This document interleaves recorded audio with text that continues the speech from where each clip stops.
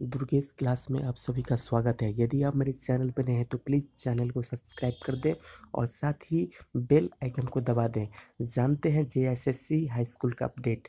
रांची ज़िले में high school के चयनित 506 शिक्षकों की एक सप्ताह में काउंसलिंग। यहाँ देखते हैं। स्कूली शिक्षा एवं साक्षरता विभाग ने डीईओ कार्यालय को भेजी लिस्ट। रांची, झारखंड लोक सेवा आयोग, जेएसएससी द्वारा हाई स्कूल शिक्षक नियुक्ति परीक्षा वर्ष 2017 अक्टूबर से दिसंबर तक आयोजित की गई थी। इसमें चयनित अभ्यर्थियों की लिस्ट स्कूली शिक्षा एवं साक्षरता विभाग को उपलब्ध करा दी थी। इसके बाद शिक्षा विभाग द्वारा विभिन्न जिलों के भेजी गई लिस्ट के आधार पर पोस्टिंग भी कर दी गई है। वहीं अधिकांश ज़िले के चयनित अभ्यर्थी नियुक्ति पत्र मिलने का इंतज़ार कर रहे हैं।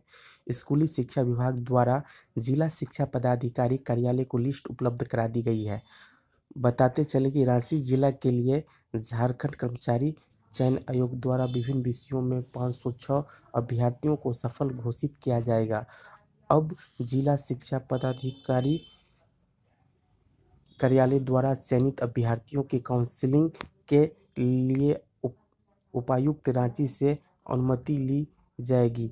एक सप्ताह के अंदर चयनित अभ्यर्थियों की काउंसलिंग की प्रक्रिया शुरू कर दी जाएगी। सत्रह हज़ार पाँच सौ बहत्तर पदों के लिए शुरू हुई थी नियुक्ति।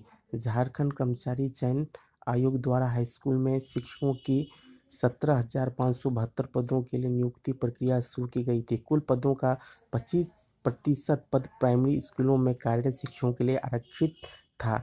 लेकिन इसमें लगभग पंचानवे प्रतिशत पद रिक्त रह गए हैं। इन रिक्त पदों को सीधी नियुक्ति से भरने के लिए अभ्यर्थी मांग कर रहे थे। विधानसभा में भी विधायकों ने प्रश्न उठाकर इस ओर ध्यान आकृष्ट कराया था।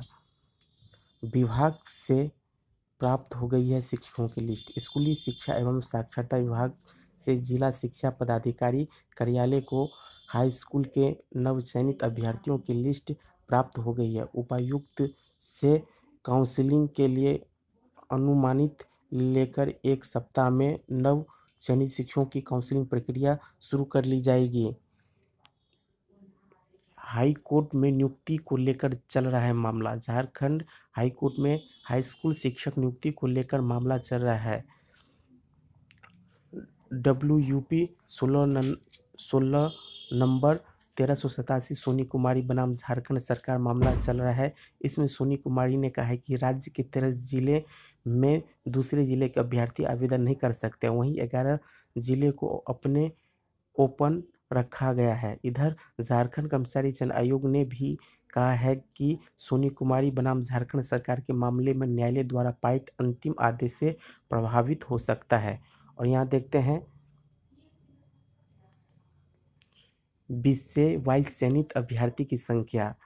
बंगला में देखें दो है जीव विज्ञान एवं रसायन शास्त्र में चौंसठ, वाणिज्य में सात, अर्थशास्त्र में चौंसठ, अंग्रेज़ी में छियासठ, भूगोल में पैंसठ, हिंदी में उनहत्तर गृह विज्ञान में पंद्रह, गणित एवं भौतिकी में सैंतालीस, शारीरिक शिक्षा में पचहत्तर कुकुड में तीन, कुरमाली में चार मुंडारी में पाँच, नागपुरी में छः और पंच परगनिया में छः तो अभी तक मेरे चैनल को सब्सक्राइब नहीं किया तो प्लीज़ सब्सक्राइब कर दें और साथ ही बेल आइकन को दबाना ना भूलें ताकि आपको लेटेस्ट अपडेट जैसे से संबंधित समय समय पर मिलता रहे।